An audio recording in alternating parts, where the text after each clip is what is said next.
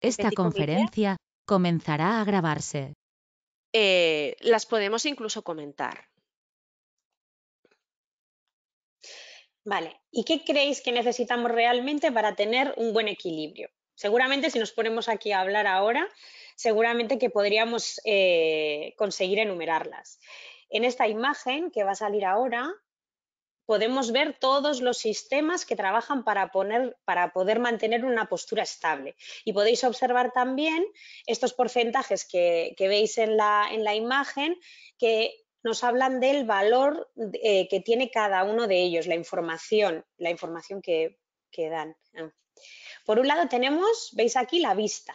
La vista nos da la información de cuál es nuestra posición respecto a nuestro entorno. El valor de esta información es menor eh, a la del resto de informaciones, ya que en principio deberíamos de ser capaces de mantenernos de pie con los ojos cerrados eh, o en una, en una habitación oscura.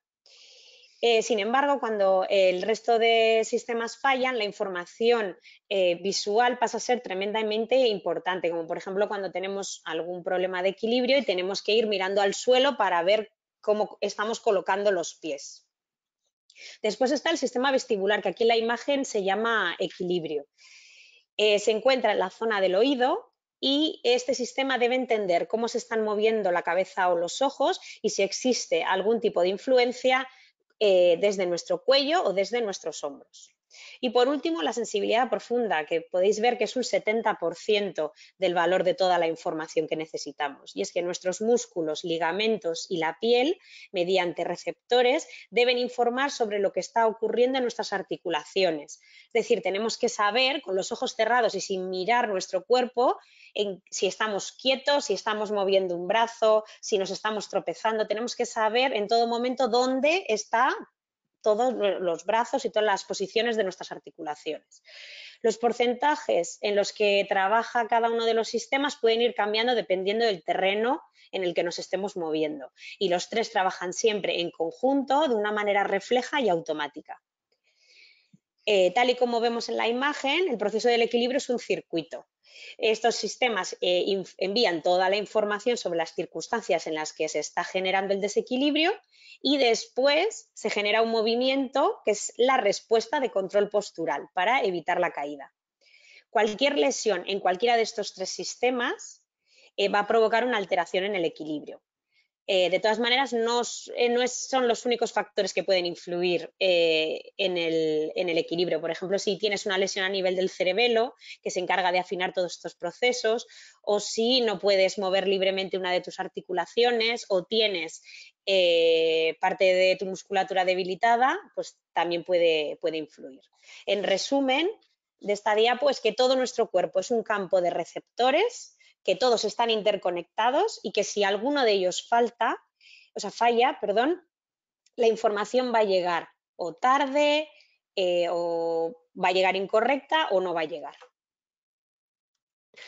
¿Y qué pasa cuando el equilibrio se encuentra afectado? Bien, pues que esto puede suponer un aumento del gasto energético por un lado, puede aumentar el riesgo de caída y eh, esto lo que va a suponer es que necesitemos apoyarnos en alguna superficie, como puede ser una pared, como puede ser eh, utilizar un bastón, una muleta o incluso que utilicemos a otra, a otra persona para poder mantenernos estable. Pero sobre todo lo que va a ocurrir es un cambio en nuestra actitud postural, en cómo nos colocamos nosotros. Vamos a separar los pies, los vamos a abrir o incluso podemos doblar nuestras rodillas o echar nuestro cuerpo hacia adelante. Pueden pasar muchas cosas, pero siempre va a haber un cambio en nuestra actitud postural. ¿Creéis que el equilibrio se puede entrenar? Bien, como ya hemos mencionado hasta ahora, el equilibrio es un automatismo que, vamos que, tenemos que desarrollar y lo vamos desarrollando desde la etapa uterina y que a partir de, la, cierta edad debemos potenciar para no perder lo conseguido o retrasar su deterioro. Es más importante aún cuando existe una lesión eh, neurológica o en edades avanzadas, ya que la información llega tarde o llega mal, entonces eh, todos esos sistemas no van a funcionar correctamente. Es un entrenamiento que debe integrar todos los sistemas sensoriales y motores que participan en el control postural. La vista, el sistema vestibular y la sensibilidad profunda, que lo integramos dentro de la integración sensorial, la fuerza muscular como tal y la flexibilidad. ¿Y qué podemos hacer para entrenar nuestro equilibrio? Bien, pues vamos a empezar a hablar sobre el trabajo de la fuerza. ¿Vale? Para entrenar la fuerza, independientemente de cuál sea nuestra condición física, lo primero que tenemos que tener en cuenta es nuestra capacidad máxima. Y luego podremos jugar, como por ejemplo con las repeticiones o con los pesos. Eh, cuando estamos contrayendo un músculo, lo que vamos a hacer es generar una tensión en ese músculo y eso provoca que haya un aumento de la información que se envía desde los tendones y las cápsulas articulares, esos receptores propioceptivos que hemos visto antes. Eh, y que esa información pone en marcha los mecanismos de control postural. Entonces, lo que vamos a hacer al añadir, eh, o lo que vamos a conseguir al añadir la resistencia, es que vamos a poner más fibras musculares en marcha, por lo que vamos a mandar mucha más información. Y eso lo que va a hacer es aumentar las probabilidades de enviar una información eh, más adecuada. Además, podemos añadir, por ejemplo, acciones que impliquen un mayor desequilibrio y aún vamos a mandar más información a nuestro sistema nervioso central. Por ejemplo, podemos hacer este ejercicio que está haciendo Izaskun abajo con los terabands, lo podríamos hacer sobre un cojín y de esa manera, como el cojín nos va a crear una inestabilidad, vamos a tener que trabajar más.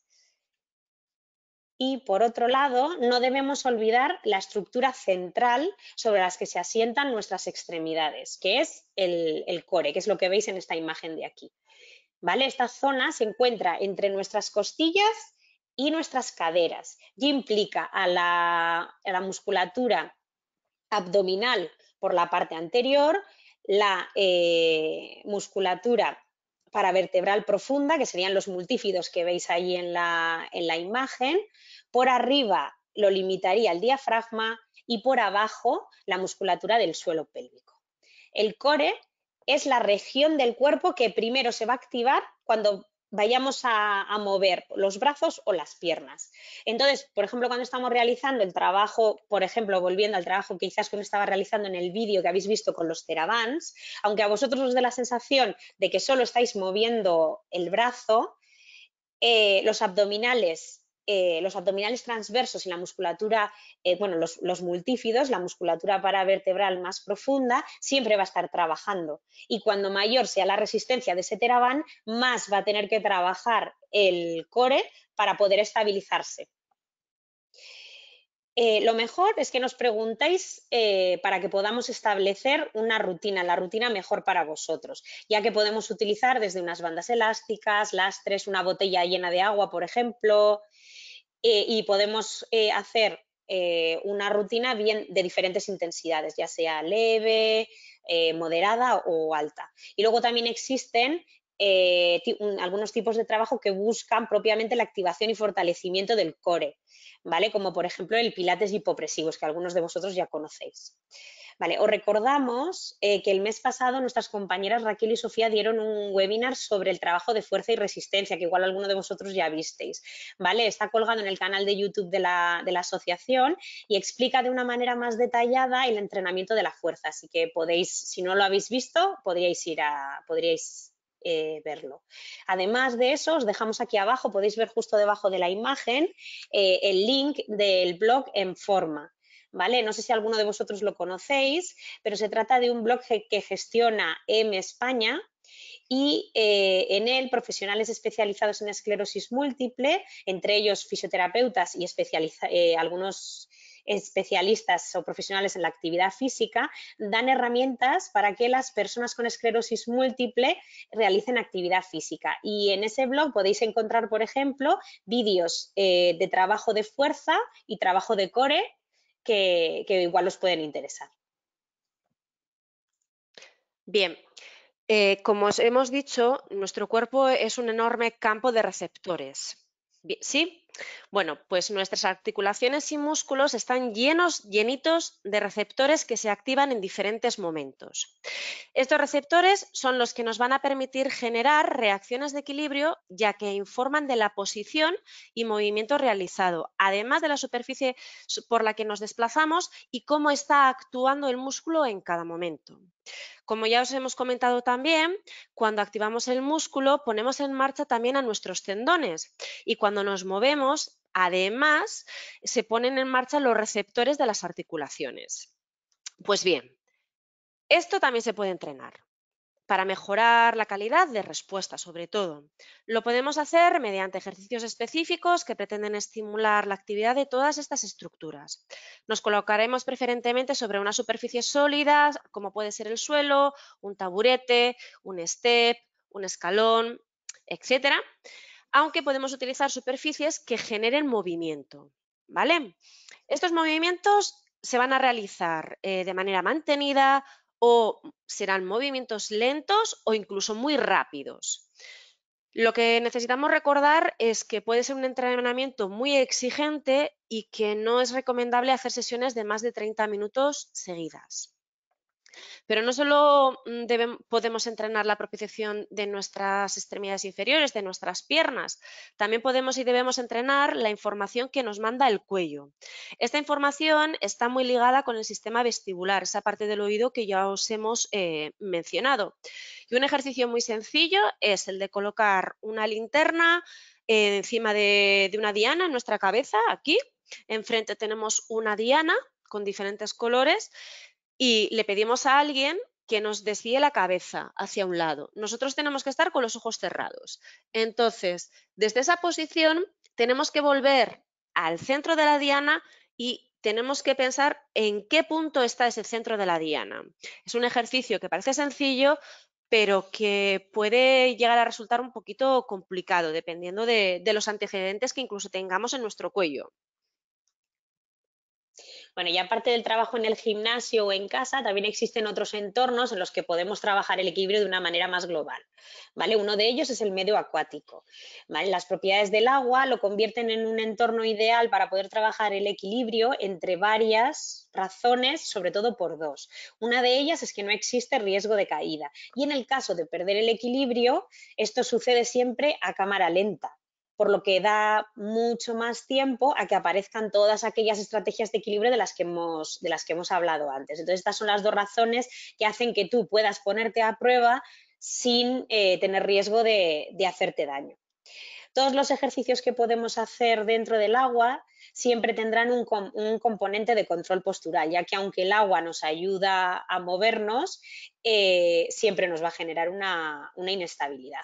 ¿vale? Es muy interesante poder jugar, por ejemplo, con la velocidad de los movimientos, ya que cuanto más rápido te mueves en el agua, eh, el agua te genera mayor resistencia y te cuesta más, por lo que tienes que realizar un mayor esfuerzo. O, por ejemplo, también es interesante utilizar dispositivos de flotación, como los pull boys, las tablas o los churros. Por ejemplo, este ejercicio de marcha con obstáculos que estamos viendo aquí, podríamos hacerlo más rápido y así aumentaríamos la resistencia que el agua ejerce al avance de las piernas. Aparte de hacer más exigente el equilibrio dinámico, eh, lo que vamos a hacer es aumentar el trabajo de fuerza de los músculos de las piernas, vamos también a exigir una mayor estabilización a nivel del core, a la vez que trabajamos la resistencia aeróbica, por lo que veis es un ejercicio muy global. El agua eh, es un medio en el que cualquier persona puede ejercitarse, ¿vale? Una misma actividad se puede adaptar a, cualquier, estado, a cualquier estado funcional e intentar después ir dificultándolo cada vez más con el objetivo de exigirnos un mayor control postural. Por ejemplo, este ejercicio, este ejercicio que veis podríamos comenzar a realizarlo bien agarrados al muro o con la espalda pegada al muro, por ejemplo, y sin el churro. Luego empezar a utilizar el churro, que el churro veis como aquí les genera, tiene que, tienen que hacer fuerza para empujarlo hacia el suelo y luego además, mientras lo están haciendo, les está generando una, una inestabilidad. ¿no? Y entonces luego ya podríamos jugar con ir quitando ese apoyo. El equilibrio se puede trabajar tanto con los pies en el suelo como flotando, como veis aquí, por ejemplo, eh, en, estas, en estos ejercicios. ¿vale? O sea que si a alguien eh, le gustaría trabajar el equilibrio en el agua, pero no se siente confiado en este medio, siempre puede trabajar con los pies en el suelo y en una piscina que no cubra demasiado. Y en Bilbao tenemos unas cuantas de esas.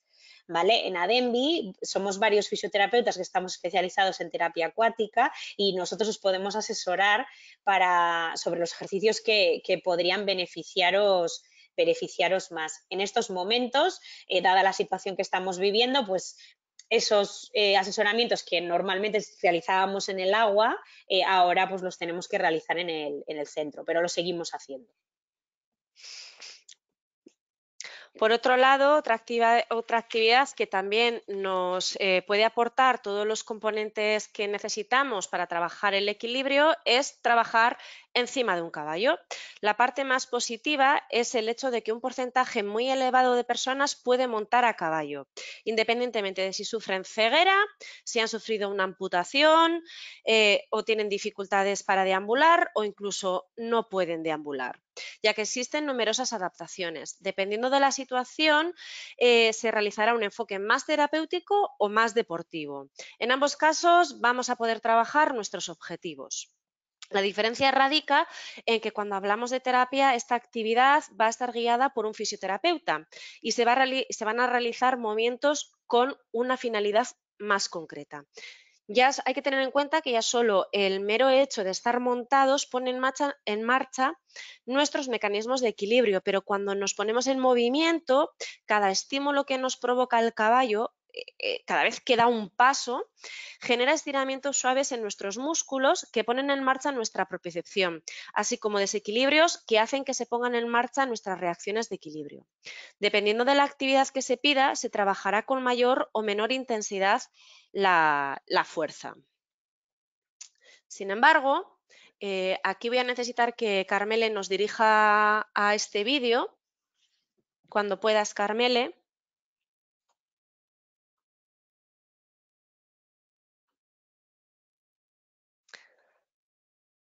Cuando hablamos de deporte, esto significa que debe existir un caballo entrenado para la situación de cada persona y por otro, lado debe existir un técnico deportivo en equitación para ecuestre, que es el que nos va a asesorar, nos va a ayudar eh, en, en las adaptaciones en cuanto a equitación como tal. Aquí es uno mismo quien debe entrenar y llegar a formar su propio binomio con el caballo. Es un entrenamiento al unísono, tanto del jinete como, eh, mm, es un entrenamiento de, mm, del propio jinete o amazona, tanto mental como físico. Eh, es, una comunicación no verbal con el caballo, hay que eh, entenderse mutuamente, ¿vale? Los, los límites de cuánto queremos aprender y hasta dónde queremos llegar los vamos a poder establecer nosotros mismos, las personas. Eh, también deciros que aunque haya mucha gente que piensa que los caballos van solos, os puedo asegurar que se llega a sudar y mucho porque eh, montar a caballo tiene un cierto componente aeróbico y, y, es el propio jinete o amazona quien genera y controla el impulso del movimiento. La persona que habéis visto es una amazona holandesa que ha llegado incluso a competir a nivel paralímpico porque la equitación para ecuestre es una disciplina paralímpica.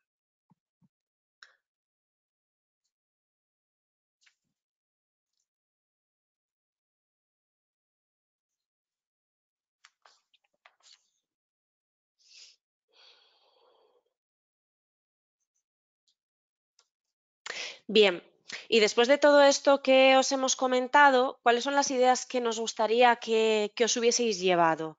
Pues por un lado, que el equilibrio depende de tres sistemas principalmente, el visual, vestibular y propioceptivo, que envían la información sobre las circunstancias en las que está ocurriendo el desequilibrio y tras esta información es cuando ocurre la respuesta postural.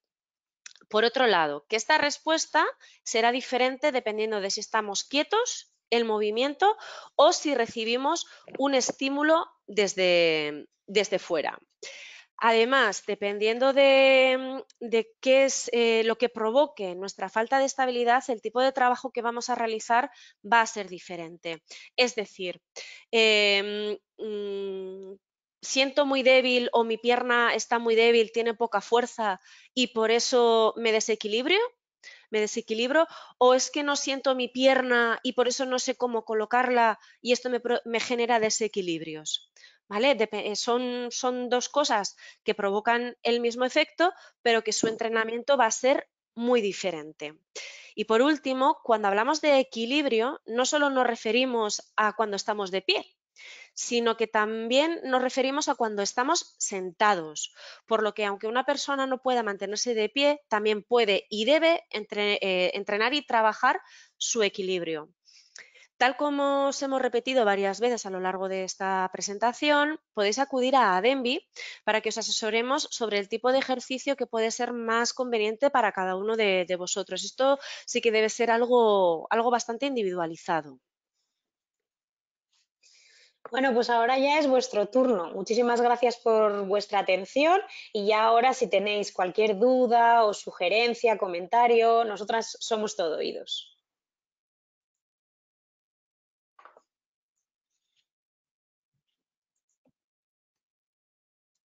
Nada. Eh, yo, estoy teniendo algún problemilla con la, con la cámara, es por eso que no me veis, pero bueno, me lanzo a haceros alguna pregunta que estoy recibiendo y mientras intento que me volváis a ver. Eh, bueno, habéis visto en el chat eh, que se pregunta a ver si la fatiga incluye en el equilibrio. Sí, bueno, la, está claro. Hola, Bea.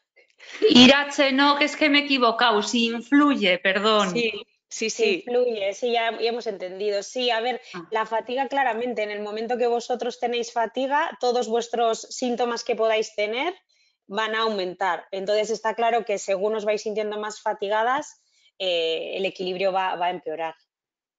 Hombre, piensa también que, em, que la fatiga en muchos casos lo que hace es impedir que el músculo se contraiga si tú no te contraes, si, si no puedes generar fuerza, difícilmente vas a poder generar esa reacción de equilibrio.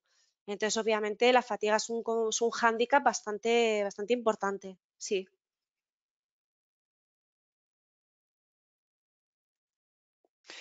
Eh, tengo por aquí alguna otra pregunta y también os animo a que como estamos pocos tenemos la posibilidad de, activar los micrófonos y que hagáis las preguntas directamente a Irache y a Izaskun. Eh, la pregunta que yo tengo por aquí es eh, si es lo mismo el vértigo que la falta de equilibrio.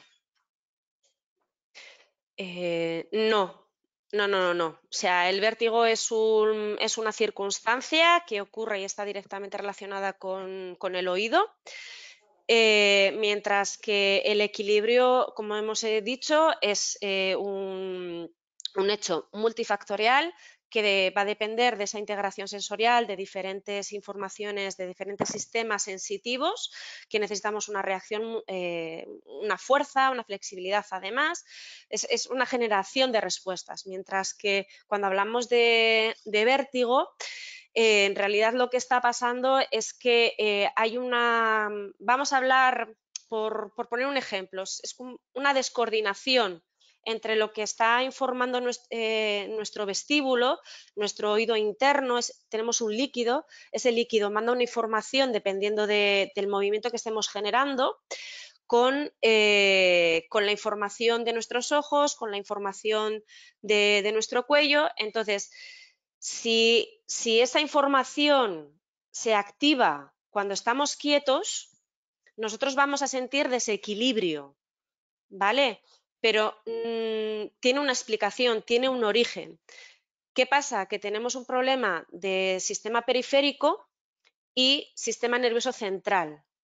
Es decir, puede ser que haya una lesión en nuestro oído interno, ¿de acuerdo? Que eh, personas igual que han tenido eh, pérdidas de audición, eh, que tenemos unas piedrecitas que hay dentro del oído que se han desplazado fuera a la parte del caracol, el caracol lo conocéis, mm, espero, ¿vale? O sea, tenemos una, figura que tiene forma de caracol, que por ahí está el líquido. Si se desplaza una piedra y se queda dentro de ese líquido, Entonces el líquido ya no manda correctamente la información de la posición de mi cabeza, si estoy mirando hacia arriba, si estoy mirando hacia abajo, si estoy girando hacia un lado. Entonces puede ser que mande la información cuando no ocurre. Y eso hace que tengamos una sensación de giro, ¿vale? De giro todo me da vueltas, estoy como en un tío vivo. Pero a veces, cuando hay una lesión del sistema nervioso central, nosotros podemos tener ese oído perfectamente, pero resulta que aquí arriba, a nivel del cerebelo, de tálamo, del córtex somatosensorial, en esta zona de aquí, esa información no se integra correctamente y da una respuesta de equilibrio, o sea, de, vértigo, perdón. Y suele ser diferente, ¿vale? La duración eh, puede ser incluso más larga o momentánea, ¿vale? De dos, tres segundos puede, puede ser, dependiendo. Mientras que del oído suele ser más postural, cuando me tumbo, cuando me siento, cuando me levanto, incluso. Es, eh, hay, grandes diferencias. Espero haberme explicado. y si Pero es que es muy complicado, yo creo que es. es, es eh, el vértigo en sí, eh, entenderlo como tal es complicado. Sí, porque hay que entender muy bien el oído y hay que entender todos los factores asociados. Pero ¿Vértigo va a producir desequilibrios? Sí, porque tú no tu información no es correcta, pero no es el, problema de equilibrio, ¿vale? Como tal. puede ser un factor. Muy bien. Yo creo que se ha entendido. Eh, ¿Y el equilibrio se puede prevenir? La falta de equilibrio. Bueno, sí que hay que entrenarlo antes, pero eso cualquier persona. Nosotros, aunque no tengas esclerosis múltiple, tienes que trabajarlo, porque con los años, al final, también con todos estos factores que hemos hablado que afectan el equilibrio, ¿no? Pues eh, que la musculatura pueda estar, ¿sabes? Que, que estés fuerte, que tus articulaciones se muevan bien, ¿sabes? Un montón de cosas que, está claro que con la edad al final pues eh, van a quedar afectadas. Entonces es una cosa que todo el mundo tenemos que, entrenar y cuanto más lo entrenes, pues mejor vas a estar. Eh, sí, añadiendo a lo que dice Irachel, para ver, para que os hagáis una idea, tú te rompes una pierna, te ponen una escayola y una vez que te quitan la escayola, que ha pasado un mes esa articulación quieta, cuando te quitan esa escayola hay muchas veces que la primera impresión que tienes es, esta no es mi pierna. ¿Vale? Y otras veces lo que suele pasar es que cuando colocas el pie en el suelo y quieres dar un paso, pues a veces no sabes cómo colocarlo y te has roto una pierna. Lo que ha pasado ha sido que ese tobillo ha estado un mes sin moverse, por tanto esos receptores han estado un mes sin trabajar. Si resulta que nosotros tenemos problemas eh, de movilidad articular, es decir, para mover esos pies, para mover esas rodillas, para mover esas caderas o incluso no las movemos porque no podemos moverlas porque tenemos una lesión neurológica, eso va a dificultar todavía más el que podamos desarrollar mecanismos de, de, equilibrio. Por tanto, tenemos que movernos, tenemos que generar movimiento como sea, tenemos que generar fuerza como sea.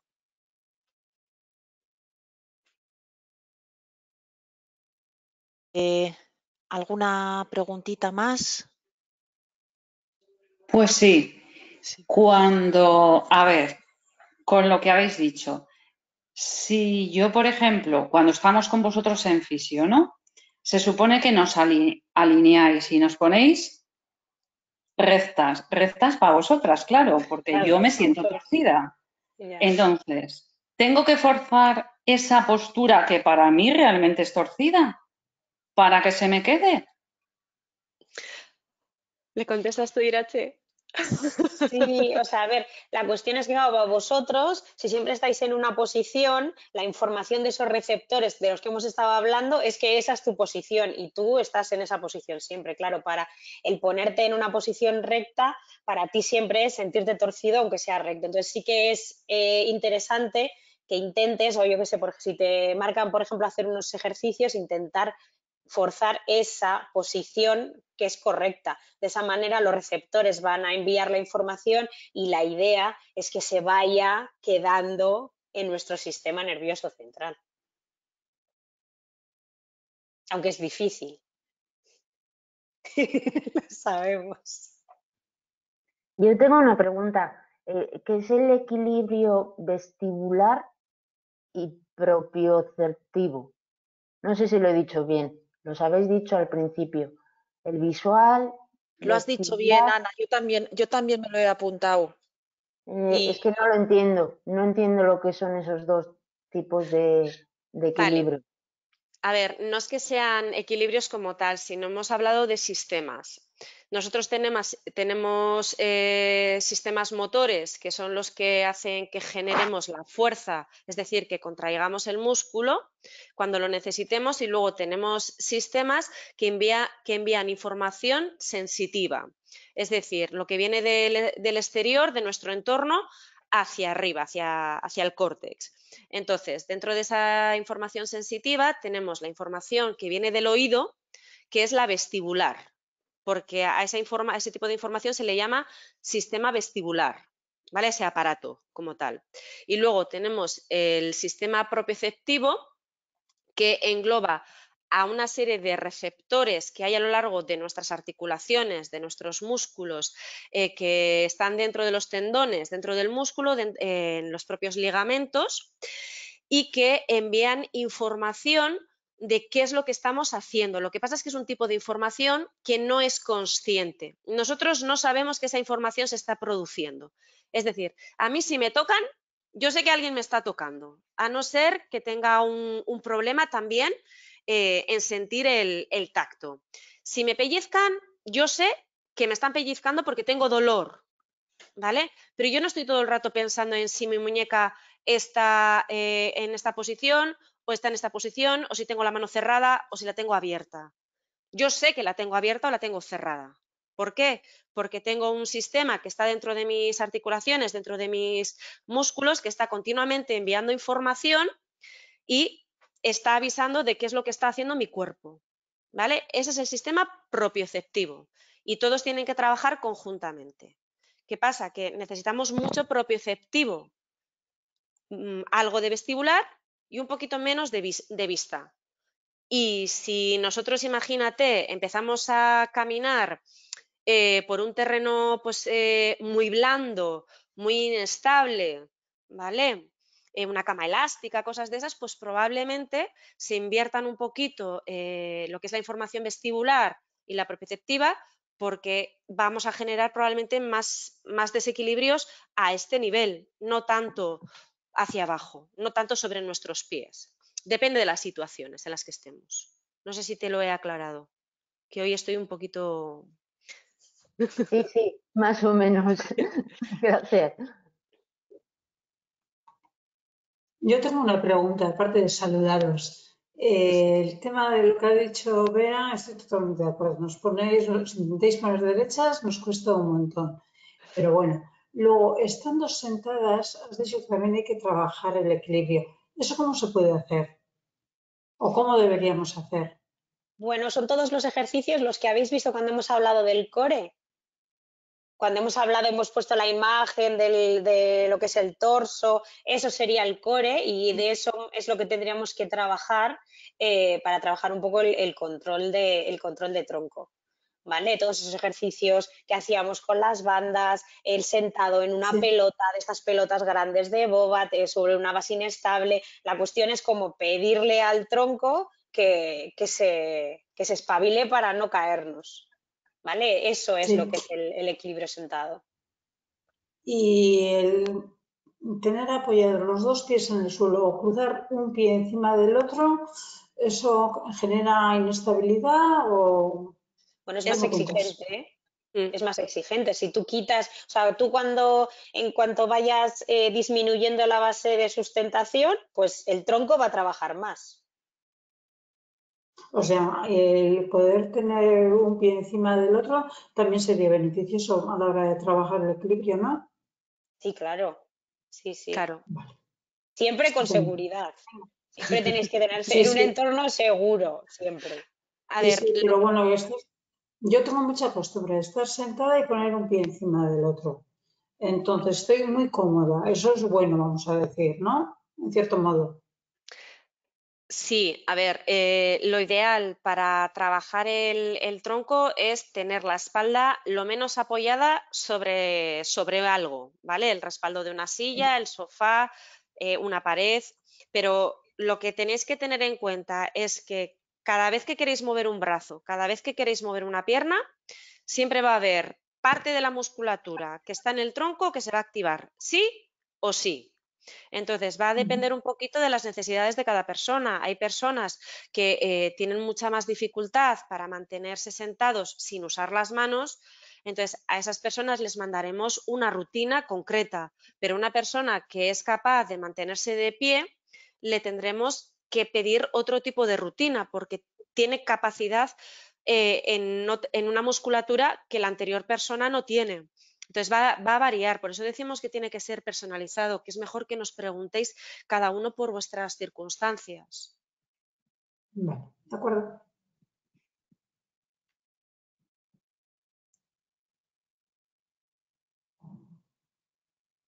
Veo que no hay más preguntas. Bueno, si queréis alguna preguntita más, estamos a tiempo. Si no, eh, Mira, Izaskun. Izaskun tiene una. Izaskun tiene.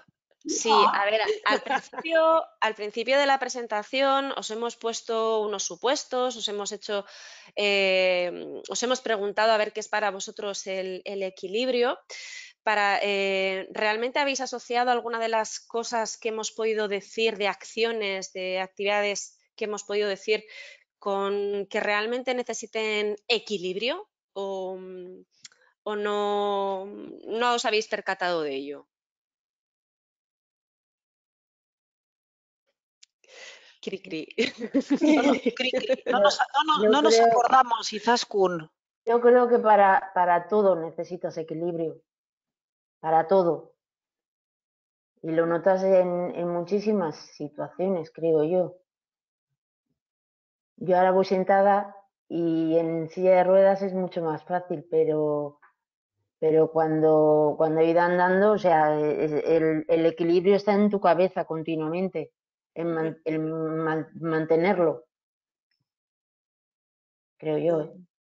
Bueno, que también te queríamos dar importancia al mantener el equilibrio sentados. Me refiero que eso también hay gente que no se aguanta sentado, eso también es equilibrio, no solo es cuando estás de pie. Eso sí que queríamos dejarlo claro, porque parece que si ya no caminas ya no tienes que trabajar tu equilibrio. No, es que lo tienes que trabajar igual. El equilibrio se puede trabajar tumbado, se puede trabajar sentado. O sea, la parte en la que queremos hacer alcances, que queremos llegar a un objeto, por ejemplo, es que aunque estés sentado, ahí necesitas equilibrio sí o sí, porque tu, cuerpo tiene que eh, generar reacciones opuestas al movimiento que, estás haciendo, si no te caes al suelo, aunque estés sentado. No hace, no hace falta ni ir a agarrar nada, ¿eh? Hay veces que, simplemente estás sentado y el, y el, tronco no te sujeta porque no tienes fuerza. Hay veces que sin más, o sea, sin querer, estás echado para adelante. Mm, eso es. el equilibrio es primordial para cualquier movimiento que vayas a hacer.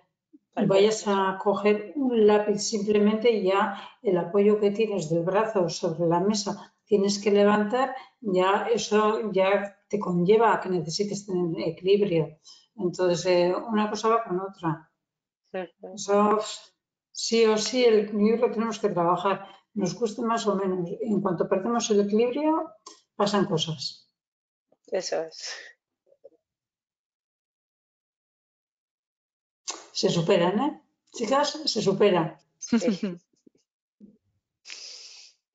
Lo importante es eso, que, que los programas y el entrenamiento y el trabajo sea individualizado. Mm, están bien eh, coger eh, programas generales, pero luego hay que hacer cosas un poco más específicas para cada uno. Muy bien, gracias, Izaskun. Bueno, pues si, no hay más preguntas, eh, por nuestra parte deciros que es que ricasco a todos por participar. Eh, desde Adembi deseamos que, que, haya sido de vuestro interés, que sepáis que estamos aquí en la asociación de lunes a viernes y para todo lo que necesitéis. Rehabilitación, diferentes terapias, psicología, consultas de enfermería, de trabajo social, de logopedia, en definitiva, servicios y terapias eh, que, como bien decía Izaskun, especializadas y adaptadas a las necesidades de cada uno. Así que nada, muchas gracias de nuevo y hasta la próxima. Agur. Agur. Agur, es que Agur. pronto, ¿vale? Agur. Agur. Hasta pronto, Mari Carmen. Eso. Venga. Igual pasa un tiempo, pero eh, seguro Irune pregunta si la charla se va a colgar, Carmele. Eh, sí, la, la, charla se va a colgar.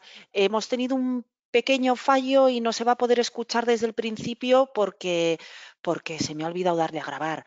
Pero es poco lo que las personas se van a perder y de todas maneras también vamos a avisar que si alguien quiere completarla, etcétera, eh, estamos a vuestra disposición para completar lo que creáis que hace falta.